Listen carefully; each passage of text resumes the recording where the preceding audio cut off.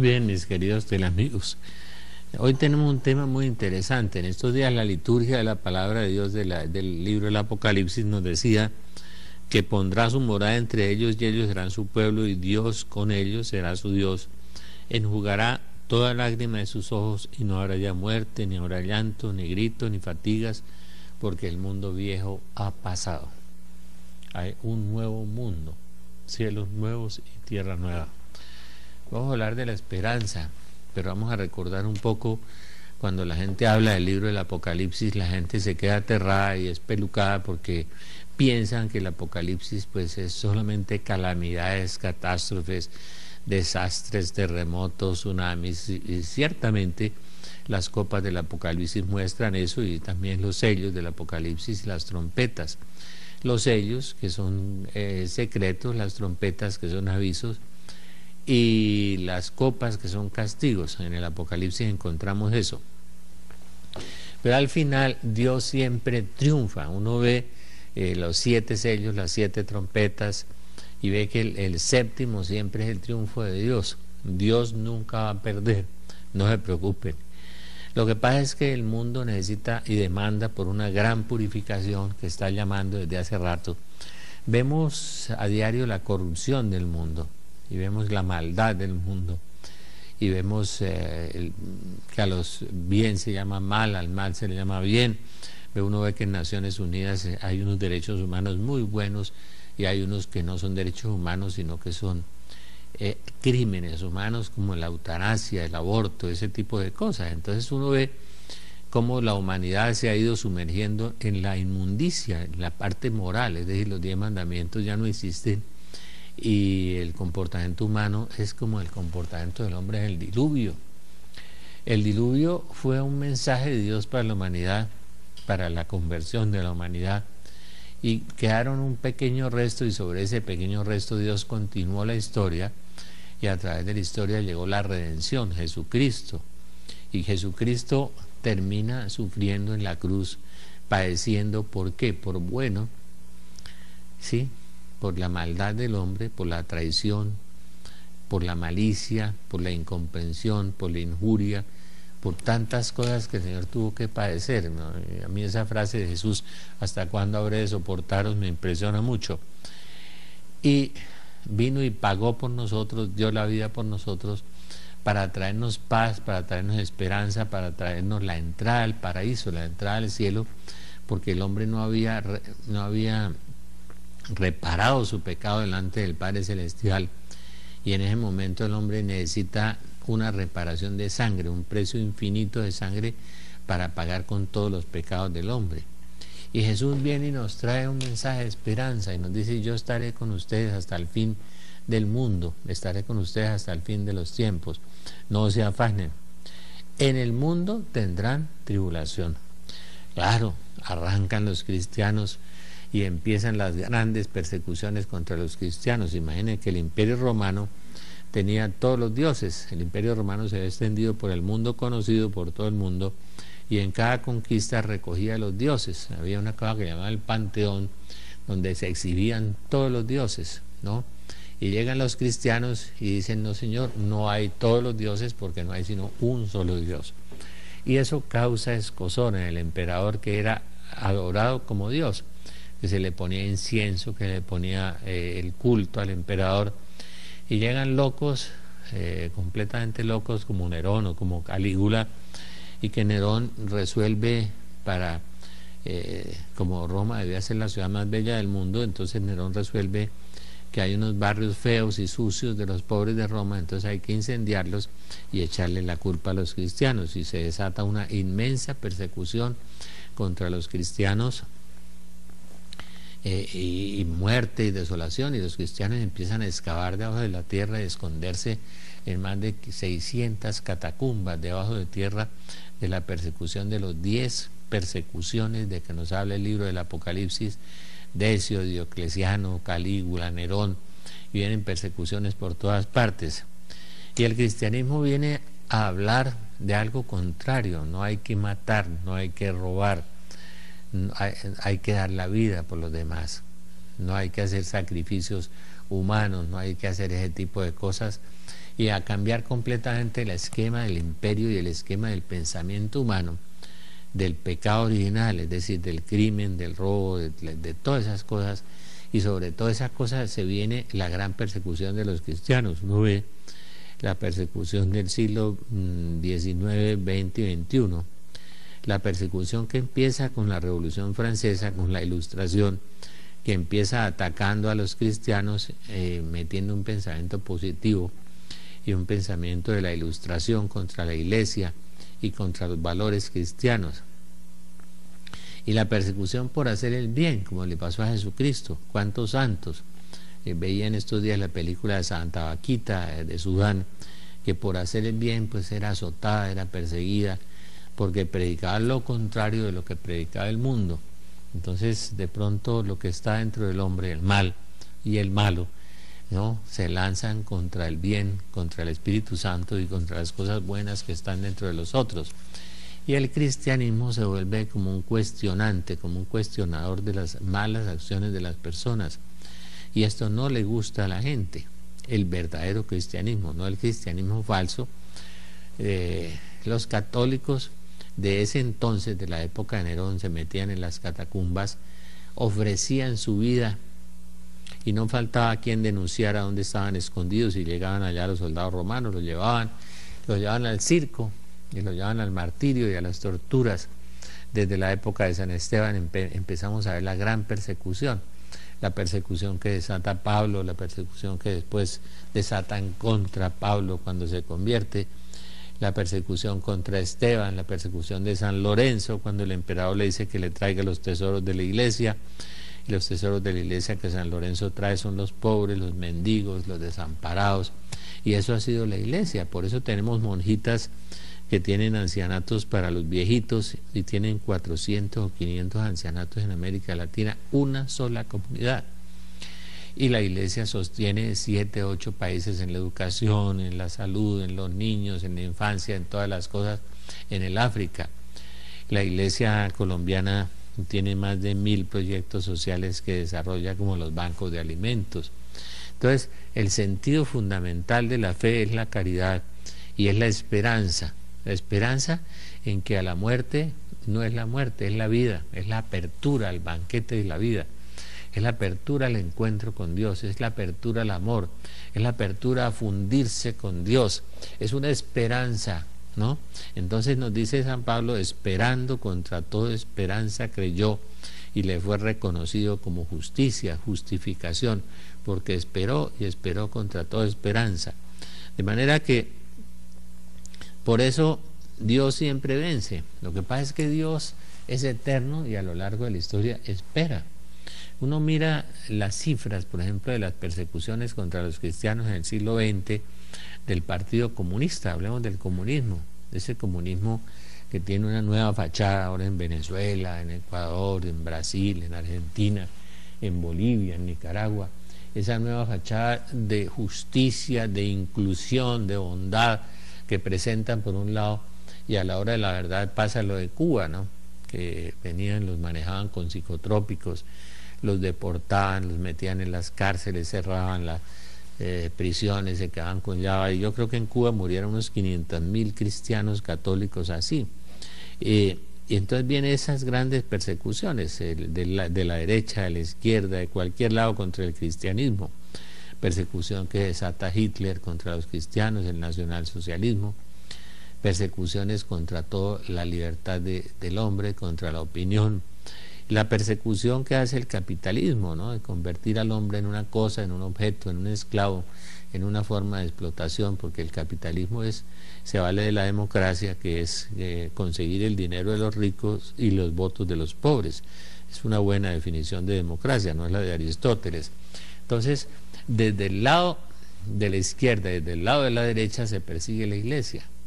Y la verdadera iglesia de esa época, la época de Nerón, donde los cristianos oían el Evangelio completo, se bautizaban y lo vivían, No eran los cristianos que van a misa el domingo con un celular y salen corriendo hasta la puerta y la iglesia parece una pasarela con un desfile de modas corrompido, de minifalda, de escotes en los matrimonios, en los bautizos uno ni el, ni el papá, ni los padrinos, ni los acompañantes saben cuándo hay que arrodillarse en la Eucaristía, ni qué está pasando ahí.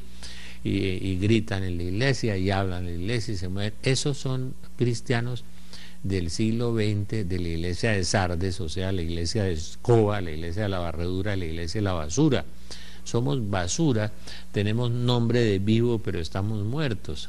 De todas maneras hay un pequeño resto fiel. Y ese pequeño resto fiel como decía el Papa Benedicto en 1978, cuando era cardenal, que la iglesia quedará reducida a un pequeño, pequeñísimo resto, ¿no? Donde se vivirá la fe pura y la fe santa.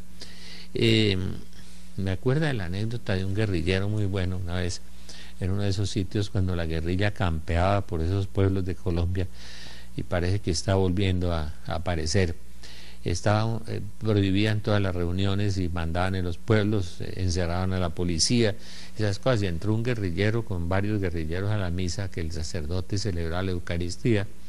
Y al celebrar la Eucaristía, pues entró y, con armas y el pobre sacerdote cuenta que le temblaban las piernas y empezó a gritar, bueno, eh, aquí hemos prohibido las reuniones, ¿por qué están celebrando esta reunión sin permiso nuestro? y ustedes salgan de aquí, váyanse y todas esas cosas. Entonces la gente muerta de miedo empezó a salir y unos pocos quedaron. Y el guerrillero se voltea y le dice al padre, padre, se fueron los hipócritas, ahora sí puede continuar su misa, ¿no? Entonces realmente la gente que creía en Jesucristo, que no temía morir, que no temía el problema, que eso era, la, Jesús es la esperanza. Señor, tú eres nuestra esperanza, nuestro refugio, nuestro alcázar, Señor, tú eres todo para nosotros. Y entonces, esperando contra toda esperanza, creyó. Nosotros, Jesús dice, yo soy un Dios de vivos y no de muertos. Y hasta el guerrillero les dijo, Padre, ya se fueron los hipócritas, ahora continúe la misa. O sea, los que tenían miedo se fueron, los que tenían esperanza, que no les importaba morir por causa del Evangelio, se quedaron allí. ¿No? Eso no es fácil, no es fácil. Uno mira en los mártires de Japón, la iglesia tiene mártires por todas partes. Les decía que en el comunismo, por ejemplo, en Ucrania, la iglesia puso 7 millones de mártires, no fueron los 3 millones 800 mil judíos, que parece que es la cifra, que murió en los campos de concentración de Hitler, o 4 millones o 5, sino en un solo país 7 millones. En Armenia la iglesia puso dos o tres millones de muertos. En Albania, el país de la Madre Teresa, cuando se moría su mamá no la dejaron entrar. Hubo uno de los peores y más crueles dictadores de la historia de la humanidad. El dictador de Hungría, que la mujer usaba, comunista, ¿no? La mujer usaba zapatos con tacones de diamante, vendía los presos católicos y evangélicos cristianos, los vendía a las ONG europeas, como vender unos esclavos, vender unos cerdos, pues entonces la persecución, Stalin mató entre todos ortodoxos y católicos de los 50, 60 millones de muertos que el Partido Comunista en esa época puso, Stalin dejó unos 7, 8, 9, 10 millones de muertos, 15 millones de católicos ortodoxos o 20. Y en China también los obispos muertos. En este momento que los musulmanes cierran las iglesias católicas, les meten candela y las incendian, también. Entonces el Apocalipsis es eso, es la historia de la iglesia que se va moviendo a través de las grandes persecuciones y que culmina y termina con un mensaje hermoso. Pondrá su morada entre ellos y ellos serán su pueblo y el Dios con ellos será su Dios. Enjugará toda lágrima de sus ojos y no habrá muerte, ni habrá llanto, ni gritos, ni fatigas, porque el mundo viejo ha pasado. Este mundo que Jesús dice que Él lo hace todo nuevo, todo nuevo, lo va a hacer nuevo y lo va a hacer maravilloso. Vamos a hacer un paréntesis un instante.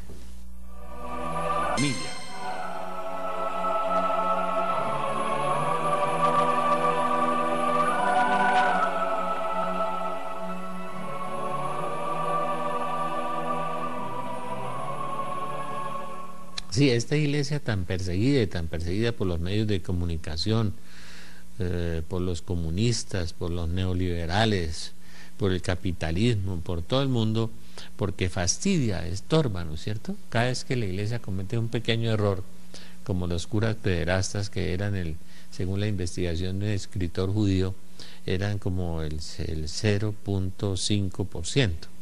En cambio, los padrastros y los padres de familia a veces llegan al 3, al 4, al 5%. Los militares de las Naciones Unidas, los escándalos que tuvieron, llegan al 3 o 4 o 5%, pero ellos no son malos ni son pecadores, son pecadores los pobres curas. Entonces uno eh, empiezan las acusaciones y, la memoria eh, y, la acusación es sobre los pederastas, hablan todo el día de los pederastas, pero no hablan de los siete países donde la iglesia tiene presencia en el África y sostiene a los pobres y enseña a leer y cuida a los ancianos y cuida a los niños, ni las hermanas vicentinas que manejan 170 proyectos sociales, ni los padres jesuitas que tienen 23 ONG, de los 2.000 o 3.000 fondos rotatorios que hay en Colombia para ayudar a la gente en todas partes del país, en las misiones, los colegios, las escuelas, las universidades, universidades que nacieron en la iglesia gracias a un gran santo y fueron promovidas por la Iglesia Católica eh, en el mundo entero, de la Universidad de París, la Universidad de Bolonia, las universidades católicas que llegaron a América Latina, la cultura, la paideia griega que la Iglesia transmitió durante siglos a través de los conventos y de los monjes, toda la cultura, el arte, todas las cosas que la Iglesia ha aportado al mundo y que le sigue aportando, sobre todo en la ética y en la moral, porque el el, 0.5% de los curas pederastas malos, bienaventurado Benedicto que se los entró a la justicia civil, se los entregó y le dijo que los sometieran a juicio, bienaventurado nuestro Papa Francisco, que le dijo a aquel cardenal eh, que no estuviera en Roma y que se fuera y se metiera en un convento allá a pagar eh, el haber encubierto unos curas pederastas, todo eso eh, la iglesia tiene gestos muy maravillosos. Son millones de veces más las luces que las líneas de la oscuridad.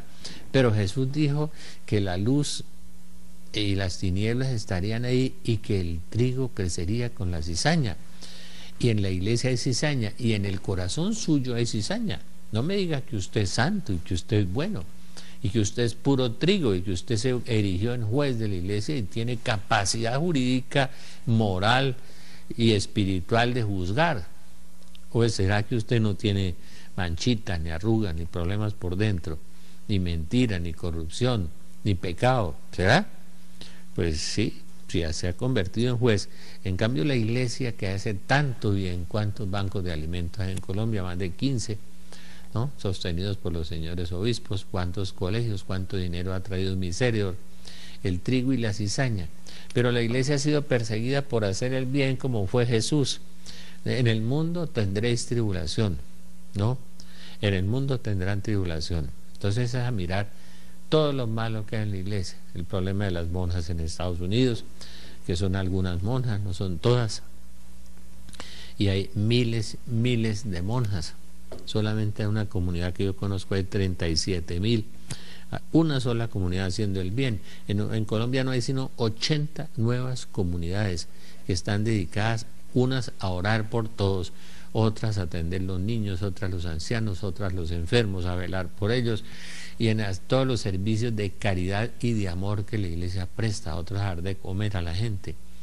Es impresionante lo que hace la iglesia. Nosotros no gritamos prosperidad, nosotros no compramos carros burbuja, los carros que los sacerdotes tienen en su 80% son dados por una fundación alemana y no le pertenecen al sacerdote, sino que pertenecen a la parroquia. Cuando el sacerdote se va no se puede llevar el carro, porque es de la parroquia y fue regalado, donado por una fundación que se llama Beniat.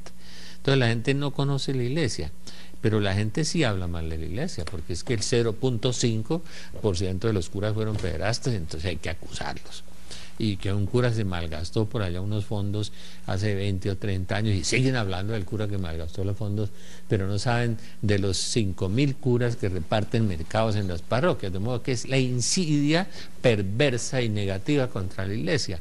Pero en medio de esa gran persecución que sí es el Apocalipsis, termina con un mensaje de esperanza, termina la restauración universal de todas las cosas, la desaparición del mal porque el apocalipsis no es el fin del mundo, sino el fin del mal. A mí es cada vez que me acusan por ahí, hay hasta unos curitas, por ahí, el doctor es apocalíptico. Digo, gracias a Dios soy apocalíptico. San Juan también y San Pablo y Jesús también era apocalíptico. Y esa señora, la Virgen María, nuestra Madre admirable, en todos sus mensajes, la reina de las profecías es la Saled, según Juan Pablo II, es bien apocalíptica y termina con un mensaje de esperanza maravilloso. La Virgen dice al final de la Salet, en mi libro de profecías bíblicas del fin, que es un libro que se está vendiendo mucho, y todo será renovado. Y todo será renovado. Yo quisiera que miráramos un poco eso, la segunda carta de Pedro 3.13, segunda carta de Pedro 3.13, eh, miráramos lo que dice San Pedro. Dice, ¿saben? ah, no, perdón. Segunda epístola de San Pedro 3:13 dice, acelerando la venida del día de Dios en el que los cielos en llamas se disolverán, los elementos abrazados se fundirán, pero esperando, según nos lo tiene prometido, nuevos cielos y nueva tierra en la que habite la justicia, nuevos cielos y nueva tierra en la que habite la justicia. San Pedro coincide con Isaías, coincide con San Juan en el Apocalipsis, con Sofonías, con Joel, y coinciden todos en que habrá un nuevo mundo de paz, de amor, de reconciliación, de justicia, en que no logramos hacerlo ni los abogados, ni los economistas, ni los politólogos, todos bastante mentirositos, ¿no? llenos de promesas y llenos de adulaciones y llenos de falsedad, pero que prometen, pero no, se, no pasa nada. Estados Unidos se está desmoronando económicamente, Europa eh, está muy mal, el motor europeo que es Alemania empezó su caída. O sea, estamos frente a una situación de crisis pavorosa. La iglesia pasará también por una horrorosa crisis. el problema de los pederastas no es, tan, es muy grave y es muy censurable. Pero el problema más censurable y más grave que tenemos ahora son los curitas y las monjas en las herejías. Y que Cristo nos resucitó, que la Eucaristía no es sino un signo, eh, que no hay ángeles, que no hay demonios, eh, que la parte moral, que es lícito el homosexualismo, que es lícita las relaciones prematrimoniales y extramatrimoniales, eso va contra la Biblia, va contra la palabra de Dios, va contra el magisterio de la Iglesia y está incrustado en la iglesia y se ha generalizado. Que el libro del Apocalipsis ya pasó. Me acuerdo de una conferencia de Madre Angélica de cómo se burlaba de los teólogos que decían que el libro del Apocalipsis ya pasó. Pues yo no he visto cielos nuevos ni tierra nueva, ni he visto una guerra, ni he visto un asteroide cayendo sobre la tierra, ni he visto caer fuego del cielo. Aquí que nos dice San Pedro que los cielos en llamas se disolverán y los elementos abrazados se fundirán. Pues eso dijo la Virgen en Akita, Japón, aprobada por la iglesia. ¿Por qué quieren esconder las cosas que la misma iglesia reconoció? La Saled, Akita, Fátima. No les estoy citando profecías no reconocidas ni revelaciones privadas, sino las que son reconocidas, que empatan y coinciden con la Biblia porque es el mismo Espíritu Santo. ¿Por qué dice lo mismo San Pedro que Isaías? Después de 750 años de diferencia, sin internet, sin comunicaciones, sin nada. ¿Por qué dice lo mismo que Joel? ¿Por qué dice lo mismo que todo? Pues miremos, esperamos cielos nuevos y nueva tierra. Dios no se va a dejar ganar la pelea ni la batalla. Es el Señor de la historia, es el Señor de, de Señor y Rey de Reyes. ¿Sí? Él vencerá y destruirá el mal, ¿no? lo sepultará allá donde, de donde es el infierno. De manera que Dios es santo y Dios es bueno, pero Dios quiere un mundo santo y un mundo bueno. Dios no quiere esta perversión y esta corrupción y este degeneramiento y esta relajación. Si es que los cristianos del siglo del año 64 de Nerón iban a las catacumbas, pero también iban al circo, iban al martirio, iban a las cárceles y ofrendaban su vida por el Señor. Hoy los cristianos ofrendan la vida por un automóvil, por un celular, hablan en celular en las iglesias, no han leído los evangelios, no saben lo que está pasando y tienen una religiosidad pastosa horrible, ¿no? Que no salva, que no lleva al cielo, que no redime, que no rescata, que no ayuda para nada. Tienen un Dios bombero para apagar incendios, un Dios para predicar la prosperidad cuando Jesús dijo, San Pablo dijo, toda codicia es una idolatría. Y Jesús dijo, no se puede servir a Dios y al dinero. Cuando el Señor le dice al joven rico, déjalo todo y sígueme, véndelo, dáselo a los pobres. No le dijo, no, haga negocios, consiga edificios, aviones, carros. No, no le dijo eso. Le dijo, déjalo todo y entrégalo a los pobres. Cuando saqueo se convierte, ¿qué hace? Dice, la mitad devolveré a los que he robado, como era banquero, era publicano, a los que he robado le devolveré cuatro veces más, cuatro veces. Y lo que me quede, voy a regalar la mitad a los pobres. Eso se llama conversión. Pero ahora uno le toca el bolsillo y la gente se les acaba la fe. No son capaces de pagar un diezmo, una ofrenda dejan extendida la mano suplicante en la calle, le pagan salarios de, ruina a los heladores, a las muchachas que sirven en sus casas, estas buenas señoras, ¿no? Manteniendo con hambre familias enteras. Eso no es cristianismo, eso es capitalismo, eso es paganismo. Lo mismo que hacen los comunistas que encierran a los cristianos en las cárceles y los matan o los persiguen, así como el gobierno vecino que ya ha sacado 50 sacerdotes que se les ha vencido la visa. Entonces eso es una persecución, siempre nos han perseguido y a los buenos es a los que persiguen, no persiguen a los malos. Si persiguieran a los malos es normal porque la justicia tiene que perseguir a los malos, pero es a los cristianos, los calumnian, les inventan cosas. Y sin embargo nosotros que tenemos toda la verdad, porque es la única iglesia donde la Santísima Virgen se aparece cien mil veces en 400 oportunidades, donde hay milagros de la Eucaristía, donde hay cadáveres incorruptos, donde hay santos, la Madre Teresa, Santa Vaquita, San Vicente de Paul, cuyas eh, cuyas fundaciones en el mundo entero hay miles de fundaciones de San Vicente de Paul, en Bogotá hay más de 100 en las parroquias para ayudar al que no tiene una cubija, al que no tiene una ropa, el que no tiene una comida, las fundaciones de San Vicente de Paul, bienaventurados, Dios los bendiga. Todas estas instituciones de la iglesia tan venerables y tan grandes, los colegios de fe y alegría los padres jesuitas, todo esto tan grande y tan maravilloso y la iglesia sigue manteniendo la esperanza que a pesar de la persecución, que ahora los musulmanes nos encierran en las iglesias y nos meten candela y nos incendian, ¿no? Y que en la India matan como 200 católicos diarios y que en la China tienen presos como un millón o no sé cuántos, por todas partes nos persiguen, pero de todas maneras, ¿por qué? Por hacer el bien, por orar, por dar testimonio, por denunciar el mal porque ahora en el Estado y en el Congreso y en la Corte, al bien le llaman mal y al mal lo llaman bien. Lo profetizó Isaías. Entonces, ¿qué es lo que viene? Viene un mensaje de esperanza. Dios enjugará toda lágrima. Pero viene la purificación del mundo, o sea, la destrucción de dos terceras partes de la humanidad.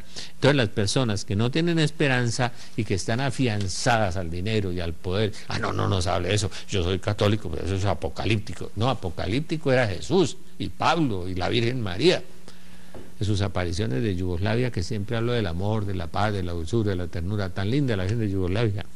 ¿No? Hermosa, además es una imagen espectacular. Les voy a traer una que está llorando.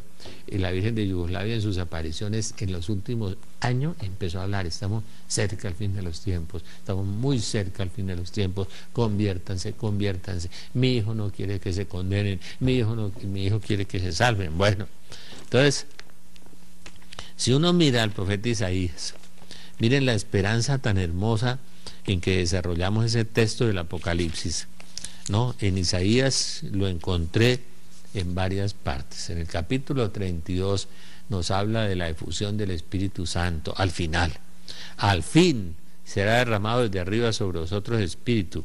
Se hará la estepa un vergel, o sea, hay un cambio físico de la tierra. Dice una evidente amiga mía que la nueva cielos y la nueva tierra, los ecologistas se morirían de felicidad de ver lo nuevo que Dios va a crear para nosotros. Mucho más bello de esto que hemos destruido, que es tan grande y tan hermoso. Y el vergel será considerado como selva. Reposará en la estepa la equidad y la justicia morará en el vergel. El producto de la justicia será la paz el fruto de la equidad, una seguridad perpetua, seguridad perpetua, para siempre seguros. Ahora que vivimos tan inseguros, tan estafados por todas partes, tan corrompidos, tan ladrones, tan mentirosos, Eh, y, y habitará mi pueblo en albergue de paz. Nosotros hablamos de los diálogos de paz y estamos esperando ese, el silencio de los fusiles, la pax romana pero no la paz que el Espíritu Santo da, la presencia de Dios en el corazón, la que le permitía a esos cristianos de la época de Nerón ir a las catacumbas e ir al circo romano, morir en la boca de los gladiadores y de los leones. Esa era la paz, una paz interna con una esperanza inmensa en que la muerte es el ingreso al banquete de la vida, a la plenitud del amor, a la eternidad, al Dios eterno y amoroso que dio la vida por nosotros y que pagó por mí. Entonces la selva será abatida y la ciudad hundida. Dichosos vosotros que sembraréis cabe todas las corrientes y dejaréis sueltos al buey y al asno. Qué lindas las expresiones bíblicas. Pero en el capítulo 65 y 66 del profeta Isaías también nos habla de los cielos nuevos y de la tierra nueva. Sofonías, Joel, es que Dios siempre vence, eso se llama la apocatastasis, el plan que Dios trazó de redimir, de rescatar al hombre al precio de, de su hijo, de la sangre de su hijo. El plan que Dios trazó lo cumplirá. Dios no deja nada intermedio, ni hace reingeniería, ni, ni deja nada sin terminar. Dios terminará su proyecto. El hombre vivió en un paraíso, pecó, y viene toda esa historia de la salvación. Y al final Dios vencerá y el hombre volverá a vivir feliz en la plenitud del Espíritu Santo, con dones preternaturales, con dones sobrenaturales, con un dominio total sobre la naturaleza, con amor. El hombre no será un devastador, el hombre no será un depredador, el hombre no será un asesino, un fratricida, no un corrupto, no, el hombre será santos, la humanidad entera, ese pequeño resto que quede después de esa purificación con fuego que nos habla San Pedro y que nos habla la Virgen en Akita, Japón. Búsquela, aprobada por la iglesia. Y si usted es sacerdote, búsquela, la aprobó Juan Pablo II y Benedicto, y que habla que el castigo del Padre es una lluvia de fuego. Pero Jesús ya lo había dicho en Lucas 17 así nos señalen apocalípticos como un motete eh, despectivo, está bien, aceptamos eso. Pero en Lucas 17, cuando dice que será como en los días de Lot, o sea, con una lluvia de fuego, así será la venida del Hijo del Hombre, que es un dogma de fe. Vamos a hacer un paréntesis de un instante. A la familia.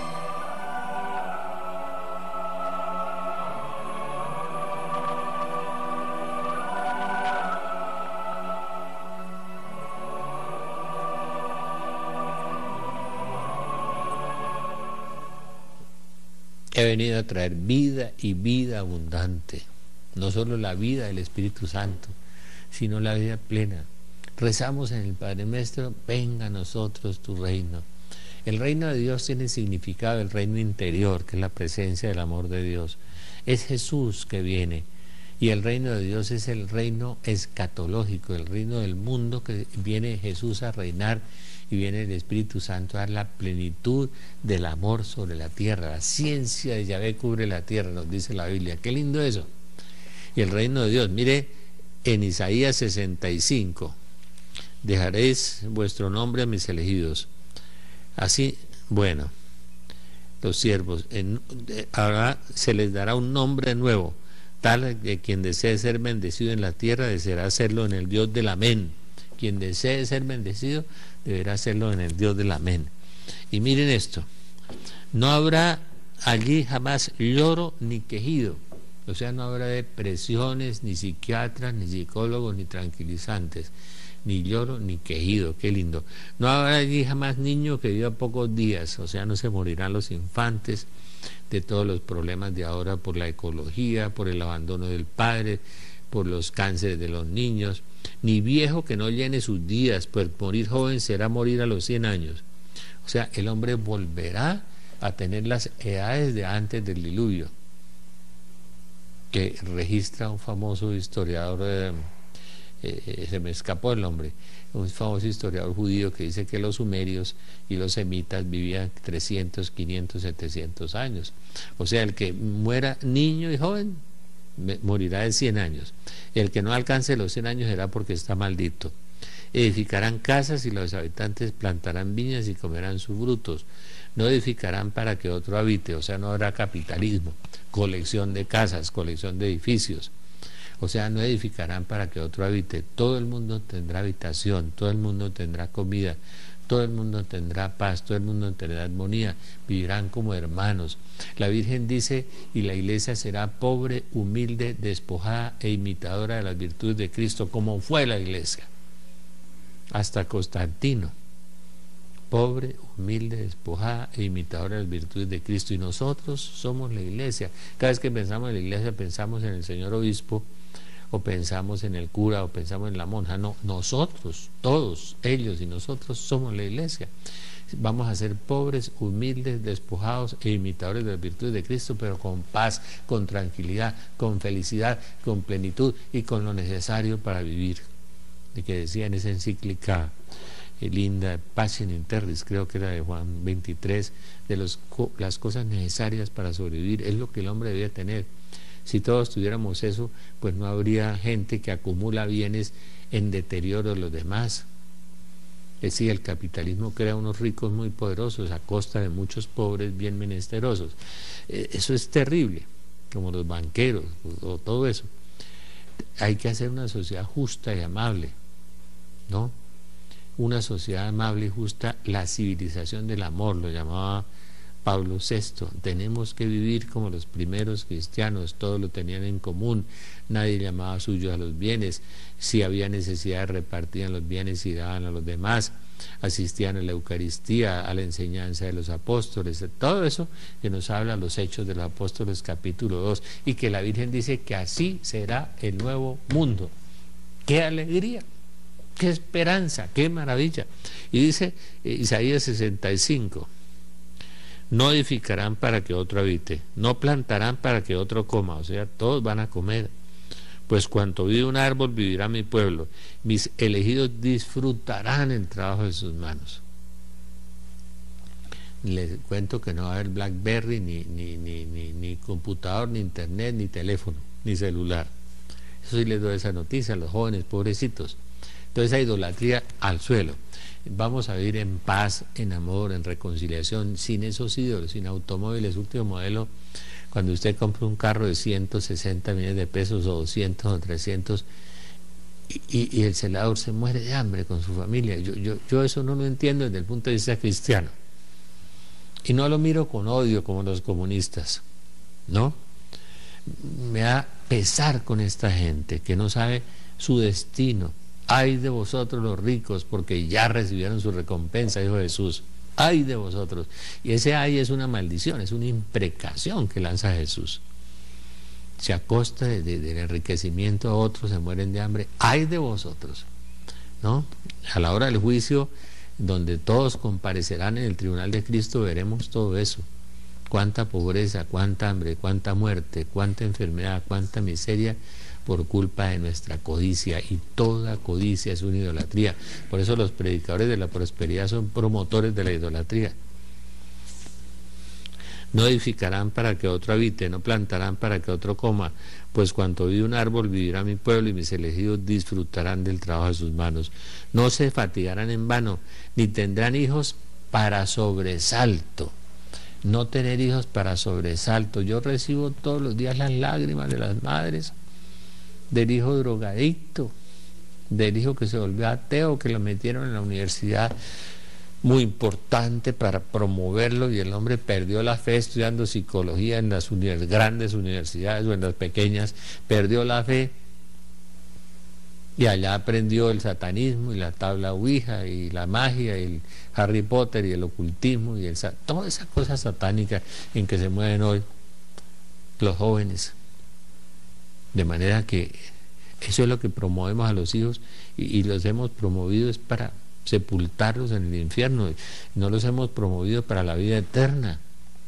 Y llegan las pobres madres y padres y, y por lo que no hicieron por los hijos también, porque los abandonaron o porque eh, la madre se fue a trabajar y el papá también y los reemplazó el televisor o los compañeros y entonces se volvieron homosexuales.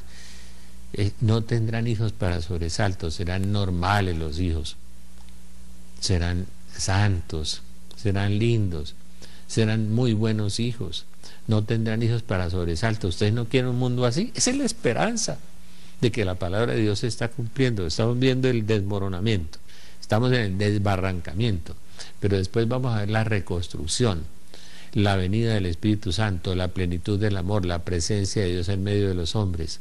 Qué lindo eso. Qué hermosa la esperanza de los cristianos. Vamos a quedar un pequeño resto, dice la Biblia, un pequeño resto. Pero es el pequeño resto que va a sobrevivir. Capítulo 12, 13 y 14 del profeta Zacarías encuentran, todos los profetas son apocalípticos. De modo que cada vez que me digan apocalípticos me siento muy bien. 12, 13 y 14 son, son apocalipsis. Habla hasta de la guerra nuclear y habla de los tres días de oscuridad y después vienen cielos nuevos y tierra nueva. Dios enjugará toda lágrima. Habrá gozo, alegría y paz. Es que hay que leer bien la Biblia, ¿no es cierto? Serán una raza bendita de Yahvé. Ellos y sus retoños con ellos. Serán raza bendita, padres e hijos y nietos y hermanos, sin maldiciones, sin enfermedades, no habrá abogados, ni economistas, ni militares, ni nada de eso, pues, ni psicólogos. Tendremos un mundo de paz, un mundo feliz, un mundo de amor, un mundo de reconciliación, un mundo de justicia. Qué hermosa la esperanza, qué hermoso esperar contra toda esperanza, como nos dice Pablo, esperó contra toda esperanza y creyó. Qué hermoso que todos tengan lo necesario, que todos vivan felices, que todos sean hermanos, que se cumpla la palabra de Dios y que digan, mirad cómo se aman.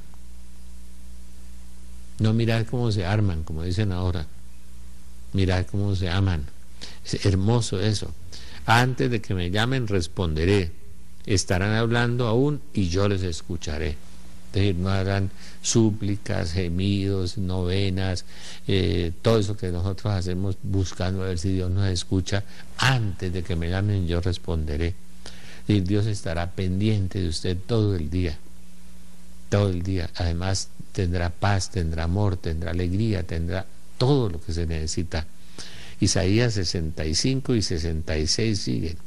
Lobo y cordero pasarán a una, o sea, será tanta la presencia de Dios que la ferocidad de los lobos, de los corderos, de la gente fiera, de todas las cosas se apaciguarán, serán pacíficos. El mundo será un mundo de amor y de paz, un mundo de alegría. Cada vez que leo el texto del lobo y cordero me acuerdo de Francisco de Asís y el lobo de Gubbio, que se avanzó el lobo con la presencia de Dios que tenía Francisco, porque irradiaba la paz de Dios. De San Blas, que dormía encima de los leones, y los leones no lo tocaban porque era la presencia de Dios. Hagamos un paréntesis un instante.